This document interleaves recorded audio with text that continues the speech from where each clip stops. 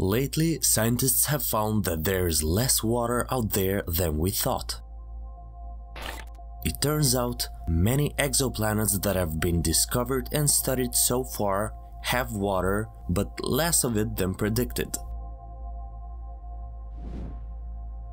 The researchers studied data from the atmospheres of 19 exoplanets gathered by both space and ground-based telescopes.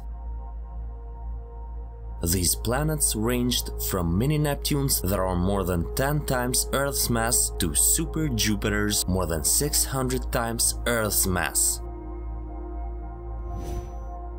The worlds range in temperature from about 70 degrees Fahrenheit to over 3600 degrees. They found 14 of the 19 worlds had an abundance of water vapor as well as an abundance of sodium and potassium. The amounts of sodium and potassium seen in the exoplanets were consistent with what was expected, but water vapor levels were significantly lower than predicted. This suggests that there is a depletion of oxygen relative to other elements and that the planets may have evolved with little accretion of ice.